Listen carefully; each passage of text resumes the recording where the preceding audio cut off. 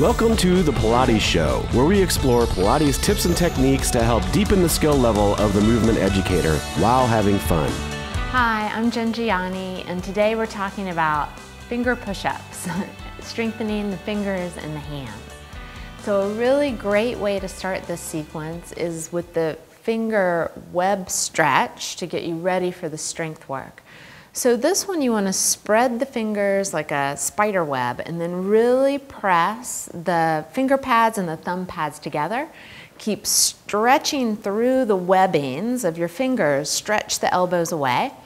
And on your exhale, you can keep this and just turn the fingertips into you and do a little curl in the spine and keep really with effort working through the fingers, spreading the fingers and pressing them together.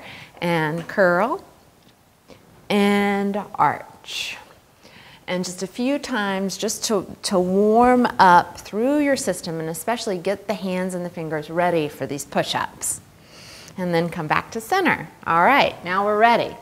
So you can place the hands down onto the floor, coming into an all four points position with the um, knees right under the hips and the wrist under the shoulders. Now you're going to start really simply by coming up on one hand, so you're going to make this dome, and then bring it down. And up and back down. And when you come up, you really want to claw the floor with your finger pads, right? So you would do that with each hand, and then to add on, you do both hands.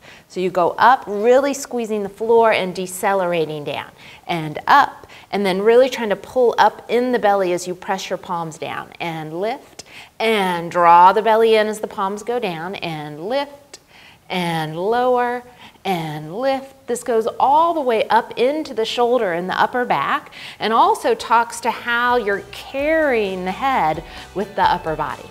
That's it for today. If you have a different take on today's subject or if there's anything you'd like to see covered in an upcoming episode, we'd love to hear from you. Comment below on Facebook, Twitter, or in the forum at fusionpilatesedu.com. See you next time and never stop learning.